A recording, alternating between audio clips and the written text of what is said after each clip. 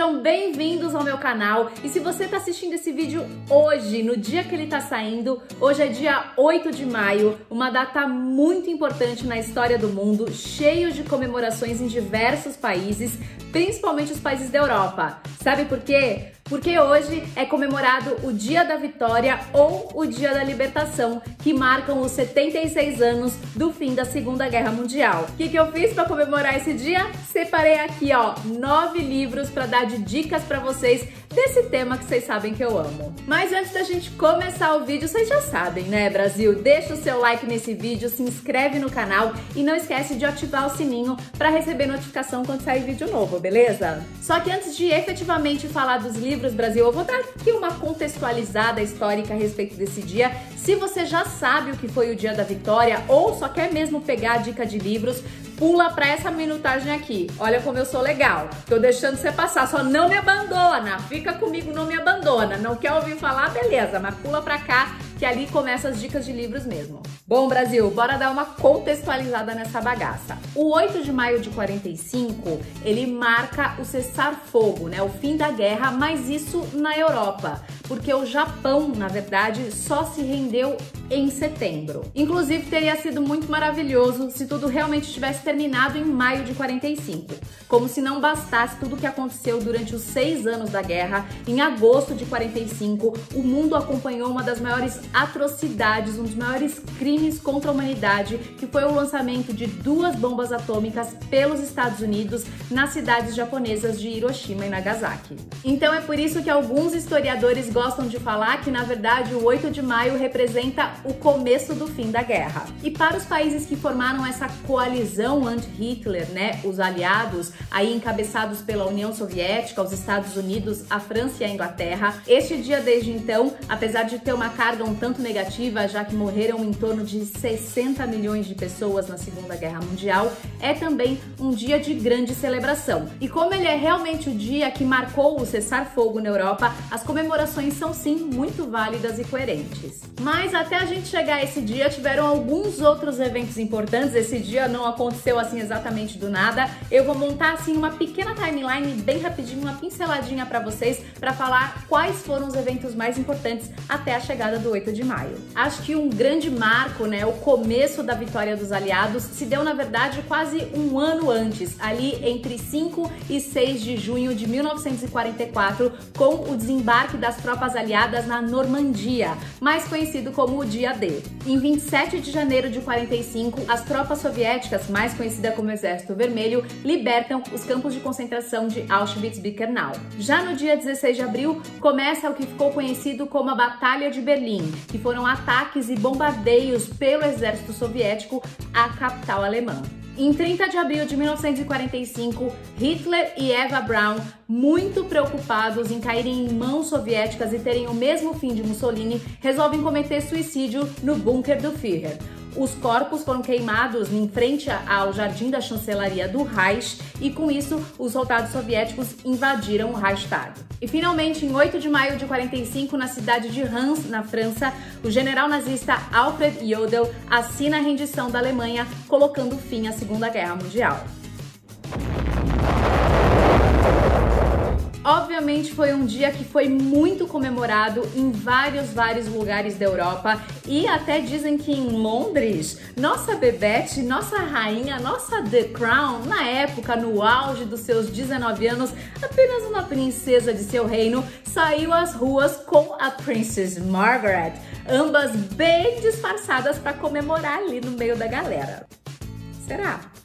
Contextualizações feitas. Bem-vindo de volta se você pulou direto para cá. Mas antes eu só vou dar um pequeno recado porque alguém vai me perguntar isso do tipo, Priscila, como você pode falar sobre livros do local se não colocar nenhum livro da Anne Frank? Porque é o seguinte, Brasil, praticamente daqui a um mês será o aniversário de nossa querida Anne Frank e óbvio que vai ter um vídeo que eu vou mostrar todos os livros que eu tenho sobre ela. Então anota aí na sua agenda, 12 de junho sai vídeo sobre a Anne Frank pra gente o quê? Comemorar o aniversário dela. Então bora! E eu vou começar com este pequeno calhamaço aqui, a biografia do Hitler do Ian Kershaw, considerado por muitos, inclusive muitos historiadores, como a biografia do homem. Esse livro foi publicado originalmente em dois volumes, um em 1998 e um nos anos 2000.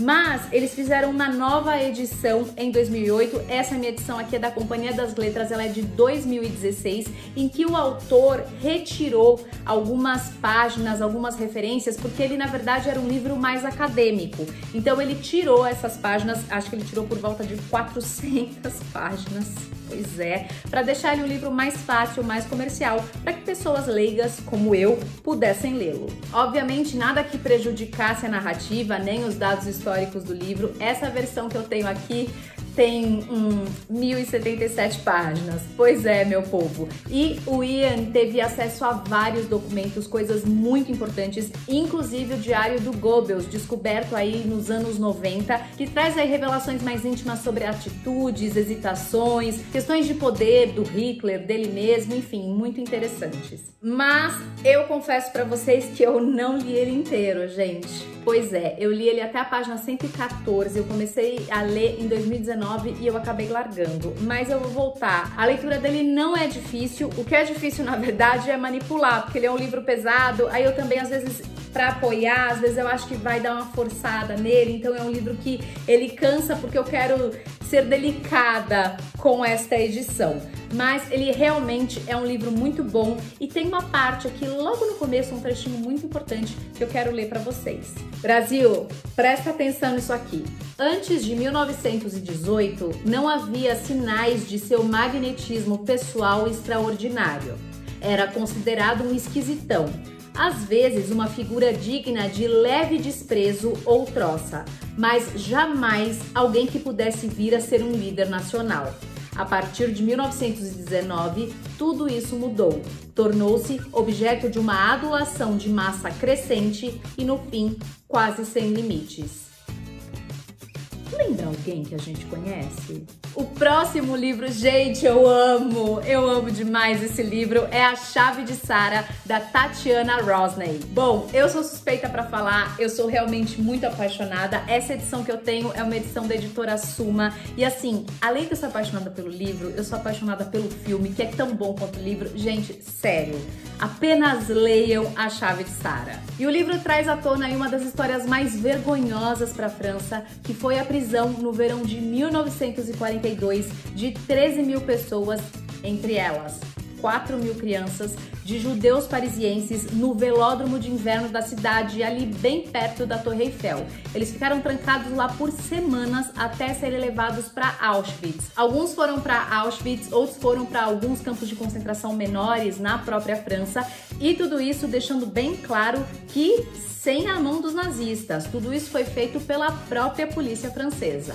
E a autora explica que para algumas gerações, principalmente as gerações nascidas antes dos anos 60, a história do velódromo de inverno não era nem falada nas escolas. Inclusive, muita gente na própria França não conhece essa história, mesmo em 2021, e ainda acha que até aconteceu, mas que foram os nazistas e não a polícia francesa. Em 1995, o ex-presidente Jacques Chirac foi o primeiro a responsabilizar a França pelo ocorrido e não colocar a culpa nos nazistas. A Chave de Sara não é biografia, tá, gente? Ele é um romance de ficção e nele a Júlia, uma jornalista americana que já mora muito tempo em Paris, é escalada no ano de 2002 para cobrir os eventos, as comemorações do 60 aniversário dos eventos do Velódromo do Inverno. Um episódio que ela como americana, então, nunca tinha ouvido falar. Enquanto a Júlia pesquisava ali sobre os acontecimentos do velódromo de inverno, ela e o marido estavam reformando um apartamento que pertencia à família do marido dela,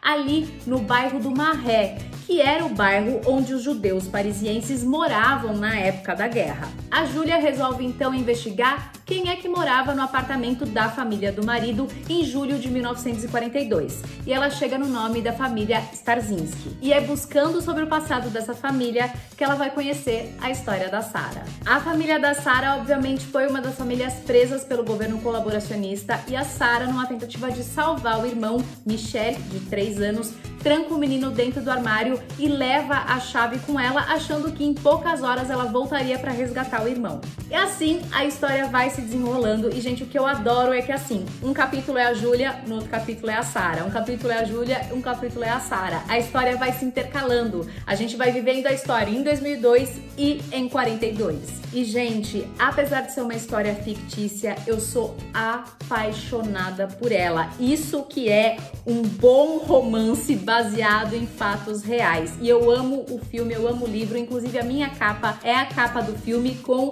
a Christian Scott Thomas no papel da Julia e a Melusine Mayans no papel da Sarah. Gente, é sensacional, é imperdível, é uma história linda, o livro é muito bom. Às vezes que eu estive em Paris, eu obviamente fui até lá, o local onde ficava o Pelódromo de inverno. Tem, hoje tem apenas um pequeno monumento que eu nunca consegui entrar para ver, como se fosse um jardinzinho, mas todas as vezes que eu passei estava fechado, em homenagem às 4 mil crianças que foram presas no velódromo de inverno. E para quem quiser saber mais sobre essa história, que eu sei que tem muita gente que não conhece a história do velódromo de inverno, tem um outro filme, além da Chave de Sara, que eu amo, que chama La Rafle. Aqui no Brasil eu acho que ele tem o nome de Amor e Ódio, se eu não me engano. É com o ator francês Jean Reno e, gente, é um baita filme lindo, maravilhoso, bem feito, bons atores, bom roteiro, é incrível. A minha próxima indicação é o Corações Sujos do Fernando Moraes. E apesar, gente, dele não ser assim propriamente sobre a Segunda Guerra, ele tem total relação com ela e ó, baita livro. É muito, muito bom. Com a rendição do Japão em setembro de 45, acabava definitivamente a Segunda Guerra Mundial. Enquanto isso, do outro lado do mundo, numa cidade chamada São Paulo, nascia uma organização japonesa chamada Shindohinei. E pra galera dessa seita, a rendição do Japão era mentira, tipo fake news dos aliados. Porque um exército que em 2600 anos nunca perdeu uma batalha, como é que podia ter perdido a guerra? Com isso, a colônia nipônica aqui no Brasil principalmente no estado de São Paulo, se dividiu. De um lado ficaram os vitoristas, que acreditavam na vitória do Japão, e do outro ficaram os derrotistas, que acreditavam que o Japão realmente tinha sido derrotado na guerra, e eles foram nomeados pelo pessoal da Shindohinei como Corações Sujos. Os integrantes dessa organização declararam guerra aos Corações Sujos e os consideravam traidores da pátria por acreditar que o Japão tinha perdido a guerra. E de janeiro de 46 a fevereiro de 47 2017, os matadores dessa organização aterrorizaram o estado de São Paulo, provocando atentados e matando as pessoas que acreditavam na verdade. Gente, é um puta livro bom. É assim, inesquecível. Tenho certeza que vocês todos vão amar. Para quem mora em São Paulo como eu, é muito interessante porque ele fala muito sobre a cidade de São Paulo. Então, assim, o bairro da Liberdade tudo mais é muito, muito, muito legal. E se você ler esse livro, eu super recomendo que você assista um curta-metragem da cineasta Caroline Fiorati chamado Eu vou deixar o link aqui para vocês que ele fala exatamente disso. Eu sou apaixonada por esse curta. A minha próxima dica é A Bibliotecária de Auschwitz do espanhol Antônio Iturbi. Gente, eu sou apaixonada por esse livro. Ele é muito lindo, ele é muito emocionante. Ele também é um romance de ficção, porém baseado na vida real do Fred Hirsch e da ditadora Chova. O Fred era um professor judeu e ele criou uma escola clandestina dentro de Auschwitz e se dedicou a lecionar para aquelas poucas crianças que não iam diretamente para a câmara de gás quando chegavam no campo. E a ditadora Chova era uma menina judia de 14 anos que tomava conta da biblioteca, dessa pequena biblioteca dentro dessa escola clandestina e ela era responsável por cuidar, guardar e também encontrar os volumes de livros que eram trazidos pelos prisioneiros de Auschwitz. Ela escondia eles embaixo do vestido, dentro do casaco, enfim, uma função aí bem difícil de se fazer dentro de um campo de concentração. Gente, o mais emocionante, até onde eu sei, consta que nesse dia 8 de maio, a Dita ainda está viva, só que o nome dela hoje é Dita Kraus, porque ela mudou de nome quando ela se casou. Ela tem 91 anos, inclusive ela nasceu no mesmo ano que a Anne Frank, inclusive ela é exatamente um mês mais nova que a Anne Frank, porque ela é do dia 12 de julho de 1929 e, inclusive, em fevereiro do ano passado, ela lançou lançou um livro, As Memórias dela. Não existe no Brasil, infelizmente. Alô, editoras! Pelo amor de Deus, tragam esse livro pro Brasil. Mas o nome dele é mais ou menos assim, deu uma traduzida para vocês. É Uma Vida Atrasada, a verdadeira história da bibliotecária de Auschwitz. A Dita Kraus foi enviada junto com os pais do gueto de Terezin, ali próximo aos arredores de Praga, para Auschwitz. Ela ficou no campo entre 1944 e 1945 e ali faltando um mês para a data limite, né, que ela e a mãe tinham que ir para a câmara de gás, o próprio Josef Mengele acabou escolhendo ela e a mãe para irem para outros campos na Alemanha. Eu sei que elas passaram por algum outro campo antes de o último campo que elas tiveram foi Bergen-Belsen até a liberação dele pelos britânicos. E né, Brasil, como eu trago o que para vocês? Referências! É claro que vai ter link na descrição, porque eu achei duas matérias da Dita em português, inclusive com vídeo. Ela gravou uma matéria para Record. Corre lá na descrição e vai assistir porque é muito emocionante. Gente, para mim, um dos melhores livros sobre esse tema. Um dos melhores, um dos mais legais, um dos mais emocionantes. A Morte de Hitler. Escrito pelos dois jornalistas Jean-Christophe Brizard e Lana Parchina, gente, isso aqui eu nem sei dizer. É uma baita revelação dos últimos dias dentro do bunker do Hitler através de documentos soviéticos e investigações forenses de última geração que nunca tinham sido reveladas. Como eu já falei lá em cima, mas para quem não viu, em 30 de abril, Hitler se matou né, no bunker, eles mandaram queimar os corpos ali no Jardim da Chancelaria. Em 8 de maio, capitulou a Alemanha. Essa é a versão, é a história que a gente conta. Mas, porém, contudo, entretanto, no dia 1 de maio, o Stalin ordenou que os seus soldados investigassem a morte do Hitler e capturassem o corpo do Führer. Mas aí a gente fica pensando, qual é que era do Stalin para ele querer fazer isso? Ele queria mesmo investigar para saber do que que o Hitler tinha morrido ou ele queria só um troféu de guerra e para esfregar na cara de todo mundo quem tinha matado o Hitler e quem tinha derrotado realmente os nazistas foram os soviéticos. E em 2017, depois de dois anos de negociação, o Jean-Christophe e a Lana tiveram acesso aos arquivos confidenciais da KGB nessa busca pelos restos mortais do Hitler e também com os depoimentos das últimas pessoas que tiveram contato com o ditador. E o mais importante, pela primeira vez na história deste mundo, Moscou concordou em mostrar e deixar que examinassem os restos mortais que eles tinham como sendo do Hitler, que é um pedaço de crânio com uma marca de bala e a mandíbula do Führer. Gente, tem foto, eu vou pôr aqui para vocês enquanto eu continuo falando do livro, porque as fotos são realmente muito legais. Gente, esse livro é muito bom. Para quem gosta de investigação, vai enlouquecer com esse livro, é muito legal. E também coloca uma pulguinha aqui atrás da nossa orelha, né, Mores? Porque tem esses programas caçando Hitler, por onde anda Hitler, várias coisas, várias histórias. Bora ler esse livro que você vai descobrir um monte de coisa. Brasil, agora eu vou falar de livros que eu ainda não li, mas eu sei que são muito bons, então é por isso que eu vou indicar, beleza? A Ordem do Dia do francês Henrique Bouillard. Gente, esse livro ganhou o prêmio Goncourt em 2017, que é o maior prêmio literário da França. Ó, ele é bem fininho, porque ele basicamente conta a história de dois dias muito importantes que resultaram na Segunda Guerra Mundial. O primeiro dia é 20 de fevereiro de 1933, o dia em que os grandes líderes da indústria alemã resolvem se reunir com os grandes líderes do partido nazista para saber se eles iam ou não apoiar a candidatura do Hitler. E o outro é o dia 12 de março de 1938, dia da anexação da Áustria. Gente, eu tô muito curiosa. Eu comprei esse livro aqui no final do ano passado, mas eu acho que já já ele entra na minha lista ali para ler, porque eu realmente eu tô super curiosa. Eu gostei muito dos reviews que eu vi sobre esse livro e tipo ganhou o Goncourt, né, gente? Então vamos esperar que é um livrão. Minha próxima indicação é o Guerra Insurgente Surdina, do Boris Schneiderman.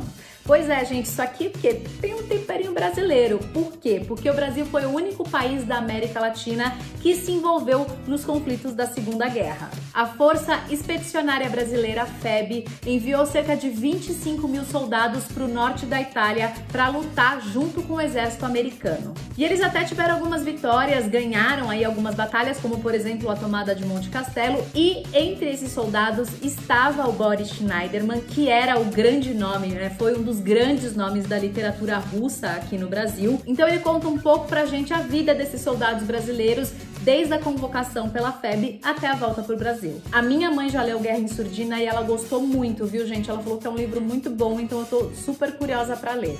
A minha outra indicação também é um tijolo, viu, gente? É o Ravensbrück da britânica Sarah Helm. Então o livro conta a história desse campo Ravensbrück, que fica mais ou menos acho que uns 90 quilômetros de Berlim, e ele era um campo só de mulheres. Ele era um campo feminino que foi concebido pelo Himmler. No final da guerra, cerca de 130 mil mulheres de mais de 20 países diferentes da Europa tinham passado por esse campo e, ao contrário do que a gente pensa, a maioria delas não era judia. Originalmente, Ravensbrück era um campo destinado a mulheres marginais, mulheres pobres, ciganas, é, presas políticas, mulheres estrangeiras, deficientes físicas, deficientes mentais, mulheres doentes ou então mulheres que eram consideradas loucas, que nada mais eram do que mulheres que aí pensavam, né, fora da caixa e não aceitavam essa coisa que era considerado normal na época e que os nazistas achavam que essas mulheres deveriam ser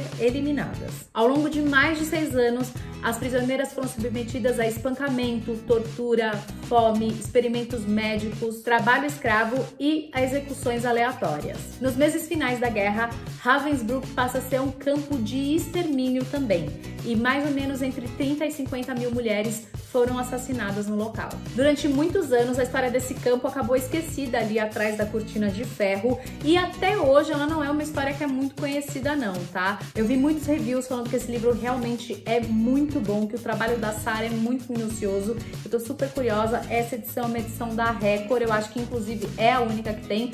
Ele é calhamacinho, 992 páginas, mas eu acho que vai ser um baita livro. E a minha última indicação, eu falei dele há pouco tempo, tem vídeo dele aí há pouco tempo, porque eu comprei na Feira de Livros da Unesp Heimat, da Nora Krug. A Nora Krug nasceu muitas décadas depois do final da Segunda Guerra Mundial, mas ela sempre ficou naquela dúvida do por que, que, isso não era falado na família dela. A avó, o avô nunca falaram nada da guerra, ninguém mencionava a guerra. E a Nora sempre ficou com isso na cabeça. Depois de muitos anos, ela já morava há 12 anos nos Estados Unidos, ela resolve voltar para a Alemanha e começar a investigar esse passado da família aí e ela vai ter, na verdade, grandes surpresas e saber que de fato a família dela estava mais envolvida com a guerra do que ela imaginava. De volta à Alemanha, a Nora visitou alguns arquivos, realizou várias pesquisas, ela entrevistou alguns familiares e ela descobriu algumas histórias, tipo que o avô materno dela